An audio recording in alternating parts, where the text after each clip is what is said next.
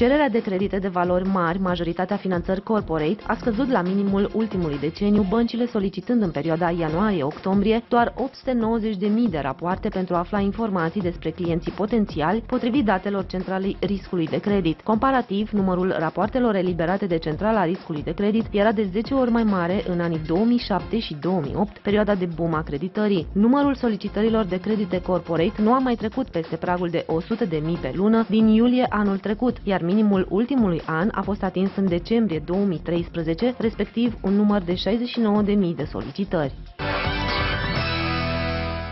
Certinvest, cel mai mare administrator independent de fonduri mutuale, vrea să cumpere AXA Asigurări, subsidiara locală a gigantului francez AXA. Societatea de administrare a investițiilor Certinvest, cu active în gestiune de 250 de milioane de lei, ar fi depus documentația necesară la Autoritatea de Supraveghere Financiară pentru preluare. Dacă tranzacția va primi avizul autorității, Certinvest va deveni astfel primul manager de fonduri mutuale care se extinde pe piața asigurărilor, sector dominat de grupuri financiare străine. AXA Asigurări a încheiat anul 2013 cu prime subscrise de 34 de milioane de lei și active de 151 de milioane de lei.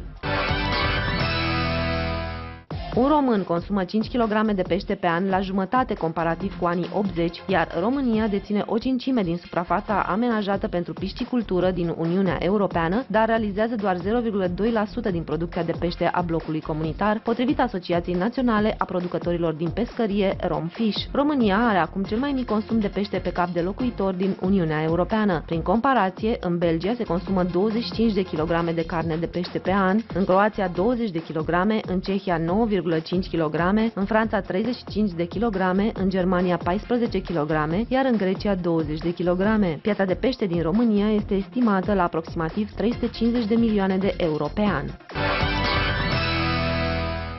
Volkswagen a cumpărat o participație de 5% în startup-ul american QuantumScape, care dezvoltă o nouă tehnologie pentru stocarea energiei cu scopul de a-și extinde și îmbunătăți gama de mașini electrice și pentru a concura cu producătorul de mașini electrice Tesla. QuantumScape, înființată în 2010, dezvoltă o nouă tehnologie pentru producerea de baterii care elimină riscul incendiilor, reprezentând alternativa pentru tehnologia deja existentă. Volkswagen va încheia testele legate de noua tehnologie cel târziu la jumătatea anului anului viitor și vrea să folosească noile baterii pentru modelele produse sub marcă proprie, precum și pentru cele sub brandul Audi.